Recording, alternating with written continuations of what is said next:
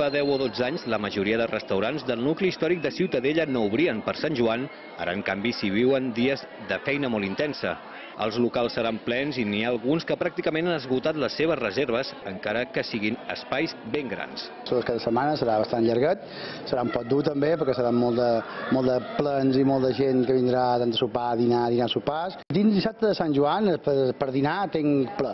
Tinc pràcticament ple, només m'hi queden unes hores buides, que són les hores que no vol, que són antes del primer toc, que són les hores més complicades perquè la gent vol veure el primer toc i després venir a dinar. Fa tres dies mos van telefonar uns francesos que no podien reservar restaurant per sopar ni dia 23 ni dia 24. Alguns restauradors comparen aquests dies de feina a Ciutadella amb el que es viu un dijous bo a Inca.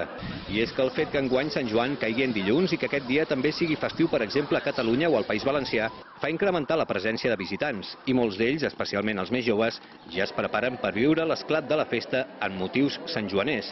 Les botigues de records i de roba especialitzada també fan el seu particular agost aquests dies.